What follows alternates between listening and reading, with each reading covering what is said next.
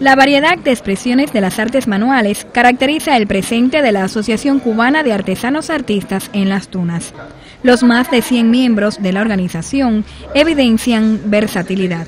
Las Tunas era conocida a nivel nacional por la fibra. Ya hoy en día no es conocida por la fibra, ya hoy en día es la fibra, es el cuero, es la cerámica, es la escultura de Rafael Santiesteban o sea que esta se ha ido diversificando y hemos ido rescatando eh, cuestiones antiguas de las raíces como es eh, las losas coloniales. Entre las manifestaciones que cultivan hoy los artesanos tuneros sobresale la cerámica fría. Más o menos se moldea como la plastilina con la ayuda de algunos ingredientes y de la profesora que en octubre ella fue a recibir el curso Holguín y vino para aquí, para Tuna y lo impartió. Es mucho más factible de trabajar, no necesita quemarse como la cerámica roja. Asociación Cubana de Artesanos Artistas, un baluarte de la identidad cultural en las Tunas.